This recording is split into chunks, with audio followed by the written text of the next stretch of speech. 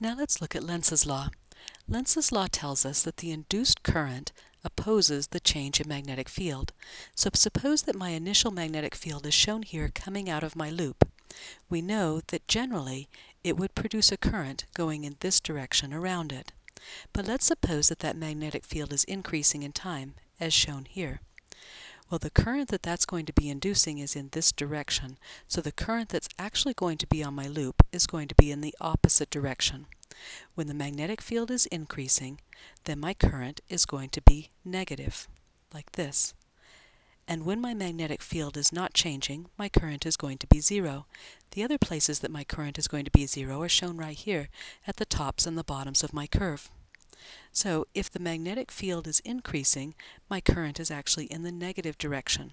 If my magnetic field is decreasing, my current is positive. Again, if the magnetic field is increasing, the current is negative, and so on.